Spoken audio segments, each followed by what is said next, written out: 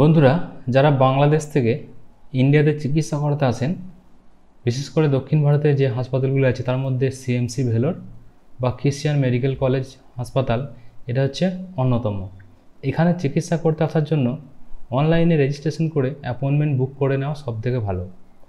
প্রথম যখন আপনি আসবেন, আপনি অবশ্যই সময় এবং টাকা সমস্ত কিছু বাঁচিয়ে আসবেন। তার জন্য আপনাকে প্রথমে অনলাইনে একটা অ্যাপয়েন্টমেন্ট বুক করে নিতে হবে, ডাক্তারের অ্যাপয়েন্টমেন্ট বুক।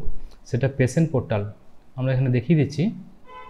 সেটা সিএমসির ওয়েবসাইটে যাবেন গুগলে যাবেন। গুগল থেকে সিএমসির ওয়েবসাইটে গিয়ে পেশেন্ট পোর্টাল, এই পোর্টালে ক্লিক করে আপনি এখান থেকে বুক এ অ্যাপয়েন্টমেন্ট এটা বুক করতে পারবেন। তো এখানে কীভাবে আমরা কি করছি, সেটা একবার দেখে নেব। প্রথমে আমরা বুক পেশেন্ট পোর্টালে ক্লিক করব। এখানে ক্লিক করার পরে আমাদের সামনে একটা পেজ খুলে যাবে। এই পেজের যারা নতুন আসছে, তাদের জন্য একবার নিচের দিকে এই new patient first time in CMC এটাতে আমরা ক্লিক করব। এখানে ক্লিক করে আমাদের সামনে একটা পেজ খুলে যাবে। সরি এটা সার্ভারে কিছু সমস্যা হচ্ছিল। তো এই পেজটা আমরা এখানে ক্লিক করব। ক্লিক করে ঠিক আমাদের সামনে এরকম একটা পেজ খুলে যাবে। এই পেজটা খোলার পরে এখানে কিছু বলা আছে, এগুলো আপনারা একটু পড়ে নিতে পারেন। এখানে বলা আছে যে পেশেন্টের সঙ্গে একজন অ্যাটেন্ডেন্ট থাকতে হবে। এবং অরিজিনাল ডাটা আপনার যে কাগজপত্রের যে নামগুলি আছে, সমস্ত পাসপোর্টের যে নাম আছে সেগুলো সঠিক দিতে হবে। যদি আগে একবার রেজিস্ট্রেশন রেজিস্ট্রেশন করা থাকে তাহলে ওল্ড হসপিটাল নাম্বার এন্ট্রি করতে হবে। এরকম অনেক কিছু অপশন দেওয়া আছে, এগুলো একটু পড়ে নিতে হবে। তো আমরা পরবর্তী স্টেপে আমরা এগিয়ে যাচ্ছি। এখানে আমরা ক্লিক করব এই জায়গায়। I have read and agree to the terms and condition আমি সমস্ত কিছু পড়ে নিয়েছি। আপনাদের সিস্টেম তার জন্য তারপর এখানে ক্লিক করে এই জায়গায় আমরা ক্লিক করব। তো এখানে ক্লিক করলাম ক্লিক করে আমরা প্রসিড ফর রেজিস্ট্রেশনে গিয়ে এগিয়ে গেলাম। তো আমাদের সামনে এরকম একটা অপশান খুলে যাবে। তো এখানে কী কী লিখতে হবে? এখানে রেজিস্ট্রেশন করতে হবে, তারপর স্লট বুকিং করতে হবে, তারপর পেমেন্ট করতে হবে এবং তারপরে অ্যাপয়েন্টমেন্ট লেটারটা প্রিন্ট করে নিতে হবে। তো প্রথমে নাম, তারপর জন্ম তারিখ ইন্ডিয়ান ন্যাশনালিটি আপনি যে দেশ থেকে আসছেন পেশেন্ট অকুপেশন আপনার ফাদার্স মাদার্স বা হাজব্যান্ডের নাম। একদিকে হচ্ছে জেন্ডার মেল বা ফিমেল আপনি পুরুষ, মহিলা কী হবেন?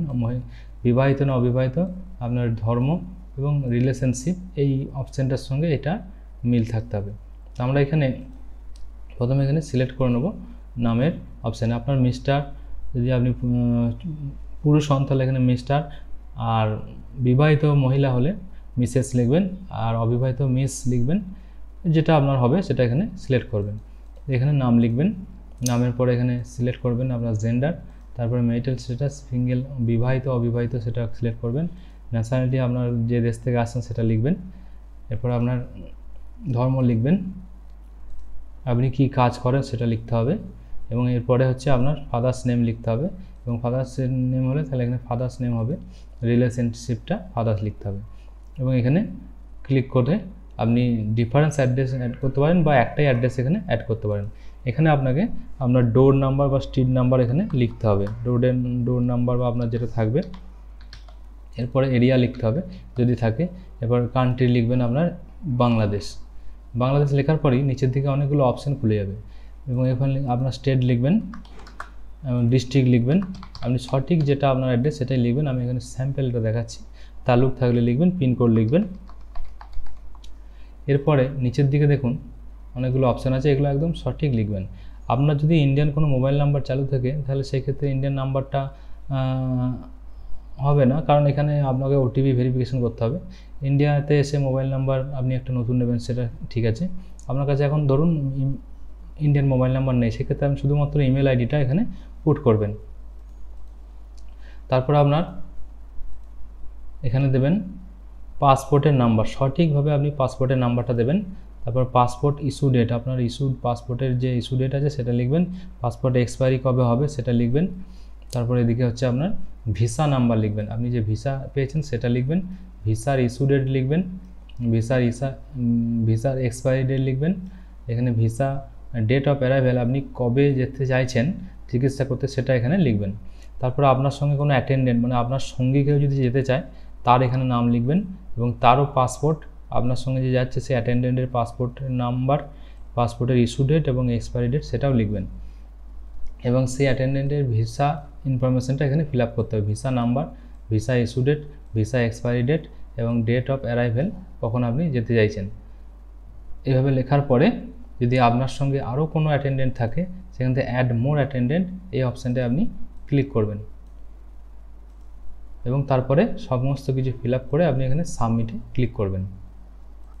এবার এখানে দেখুন, এই ভেরিফিকেশান কোডটা এখানে ক্লিক করতে হবে।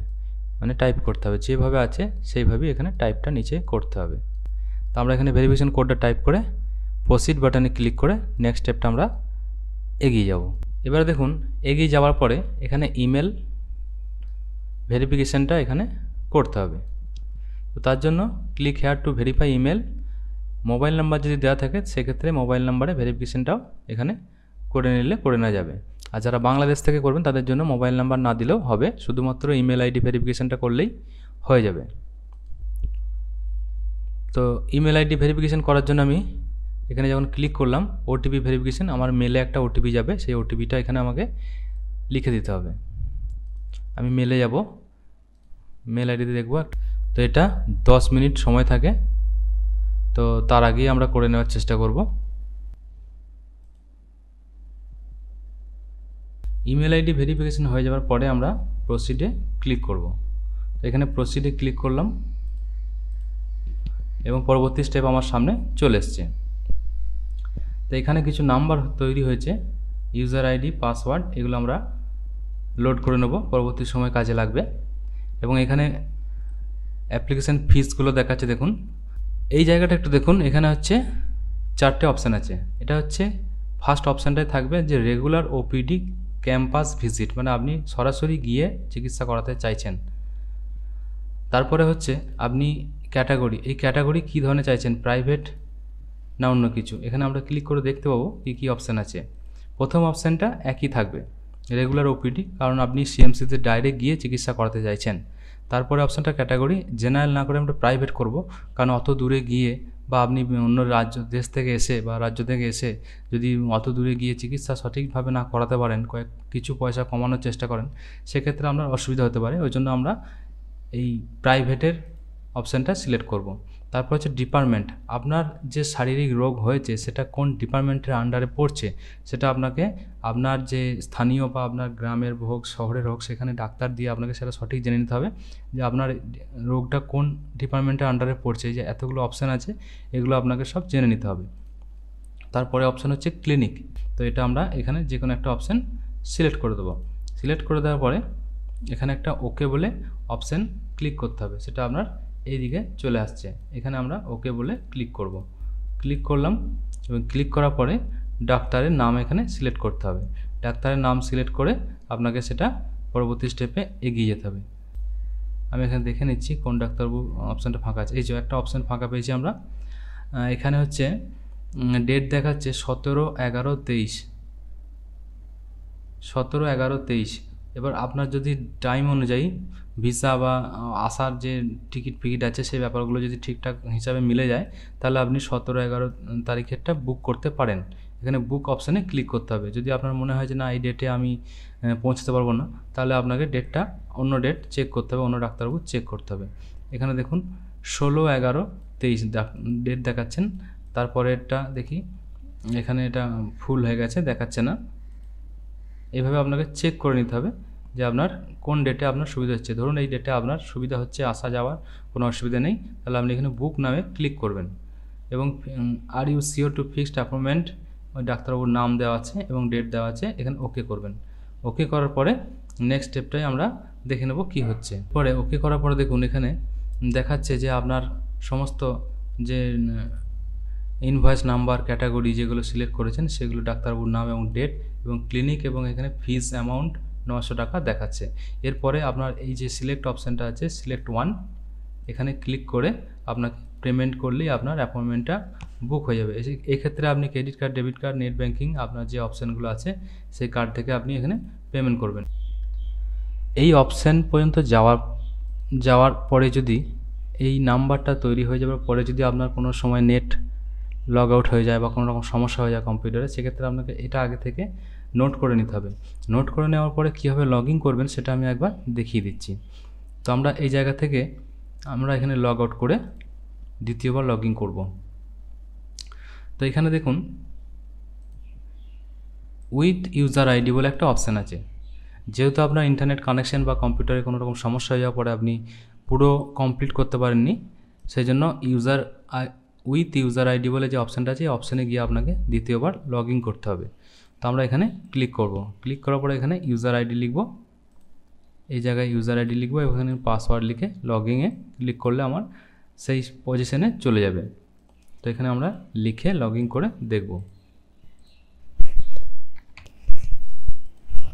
লগ হয়ে গেল। এরপরে আমরা এখানে পে নাওতে ক্লিক করে পেমেন্টটা করব নয়শো টাকা। ক্লিক করার পরে আমাদের সামনে সেই অপশানটা আবার চলে এলো এবং এখানে ক্রেডিট কার্ড, ডেবিট কার্ডের প্রসিড মেক পেমেন্টে ক্লিক করলাম। ক্লিক করার পরে এই জায়গায় আপনার পেমেন্টের অপশানটা চলে এসছে। এখানে আপনি কোন কার্ড থেকে বা কোন অপশান থেকে পেমেন্ট করবেন, পেমেন্ট করা হয়ে গেলেই আপনার সামনে প্রিন্ট আউটটা চলে আসবে এবং সেই প্রিন্ট আউটটা নিয়ে আপনাকে রেখে দিতে হবে। পরবর্তী সময় আপনার কাজে লাগবে ভিসা তৈরি করতে এবং ভারতবর্ষে আসার পরে হাসপাতালে সেই কাগজটা আপনাকে দেখাতে হবে। তো এইভাবে আপনারা সিএমসি ভেলোরের অনলাইন অ্যাপয়েন্টমেন্ট বুকিংটা করতে পারবেন। আশা করি আপনাদের ভিডিওটি খুব ভালো লাগবে। যদি ভালো লাগে, অবশ্যই ভিডিওটি লাইক করবেন এবং চ্যানেলটিকে সাবস্ক্রাইব করবেন। Thank you